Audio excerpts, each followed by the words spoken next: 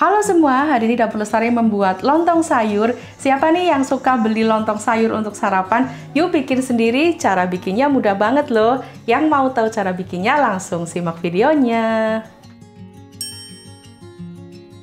Yang pertama kita siapkan air 1 liter, ini sudah mendidih. Lalu masukkan iga sapi ya teman-teman. Ini 150 gram, kira-kira satu potong seperti ini. Ini ada tetelannya juga, tak masukkan ini direbus sampai dia mengeluarkan kaldunya. Selanjutnya siapkan labu siam seperti ini. Ini aku pakai tiga buah, ukuran agak besar. Ini agak kecil dua. Ini beratnya sekitar eh, 620 gram ya teman-teman tadi tak timbang. Ini dipotong-potong, dikupas. Biasanya tak potong dulu seperti ini. Lalu di apa ya, diputar-putar gini. Kalau kata ibu saya tuh biar ini getahnya keluar sebenarnya kalau beli yang sudah dipotong-potong korek api itu juga ada tapi saya lebih suka pakai yang segar seperti ini setelah itu dikupas ya teman-teman seperti biasanya ngupasnya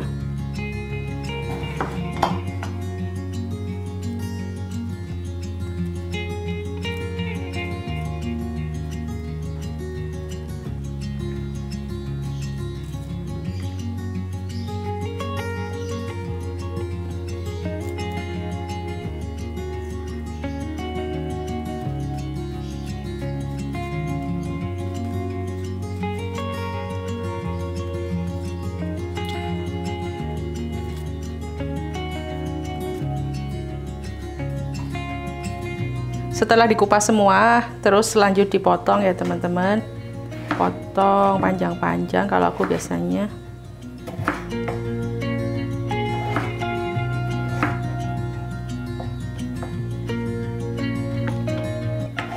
Kira-kira seperti ini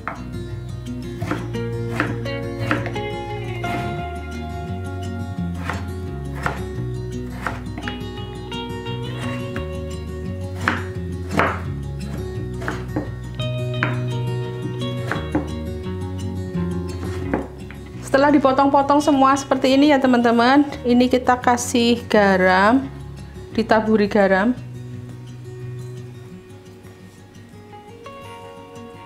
Tidak usah terlalu banyak. Setelah itu diremas-remas kayak gini.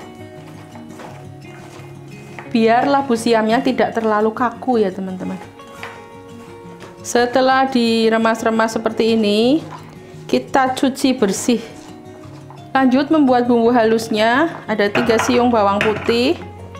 Ini aku menghaluskan menggunakan chopper. Ada 10 siung bawang merah. Ini cabai merah, keriting. Kalau teman-teman tidak suka terlalu pedas bisa menggunakan cabai merah yang besar. Ini ada 10 buah dan 3 buah cabai rawit. Kasih sedikit air. Kita haluskan.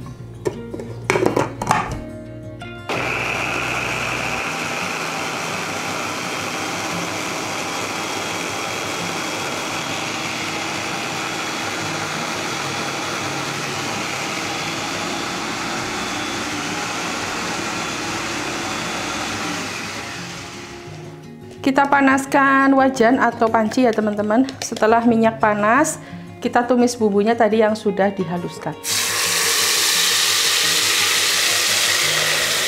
Masukkan lengkuas, dua batang serai, dua lembar daun salam, dan tiga lembar daun jeruk. Ini tumis bumbunya sampai benar-benar berbau harum. Setelah bumbunya berbau harum seperti ini ya teman-teman, setelah itu kita kasih udang. Ini aku pakai udang kecil-kecil. Kalau mau pakai udang rebon juga boleh. Udangnya 50 gram. Ini kita aduk sampai udangnya berubah warna. Udangnya tuh opsional aja ya teman-teman. Kalau nggak mau pakai udang juga nggak apa-apa. Setelah udangnya berubah warna kita masukkan kaldu sapi tadi yang sudah direbus bersama dengan tulangnya juga biarkan sampai mendidih nanti kita masukkan bahan-bahan yang lain Setelah kuahnya mendidih, masukkan tahu. Ini aku pakai tahu kotak yang seperti ini yang sudah digoreng. Ini sekitar 10 ya teman-teman. Ada telur rebus, aku masukkan sekalian. Kalau teman-teman lebih suka yang telur aja kayak gini tanpa dimasukkan ke bumbunya juga nggak apa-apa. Ini aku masukkan telur rebus ada 7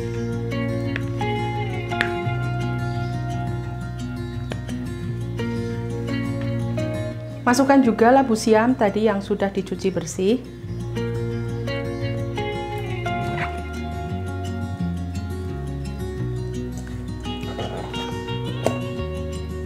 Masukkan santan secukupnya. Nah, kalau teman-teman mau yang kuahnya lebih banyak, santannya bisa ditambah. Ini aku masukkan santan sekitar 1 liter. Untuk bumbu-bumbunya ada 1 sendok teh garam, 1 sendok teh kaldu bubuk, satu bulatan kecil gula merah seperti ini ya teman-teman. Sudah ini ditunggu sampai mendidih sampai dengan matang. Teman-teman setelah mendidih beberapa saat seperti ini, bisa dicicip dulu ya silahkan rasanya seperti apa. Kalau kurang manis, kurang asin, bisa ditambahkan sesuai dengan selera. Ini sudah matang, lalu bisa langsung disajikan dengan lontong. Ini dalam satu sayur sudah lengkap banget ya teman-teman. Ada tahunya, ada telurnya, ada tetelannya, ada dagingnya ini tetelan seperti ini. Ditinggal disajikan dengan lontong, terus dikasih kerupuk sudah ini sudah sedap sekali. Teman-teman ini sudah disajikan ada lontong, sayurnya juga tahu dan juga telur dalam satu kali masak sudah dapat banyak lauk ya teman-teman langsung aja kita nikmati. Terima kasih buat teman-teman yang sudah menonton videonya sampai selesai. Jangan lupa like dan share video ini. Follow juga Instagramnya Dapur Lestari. Terima kasih.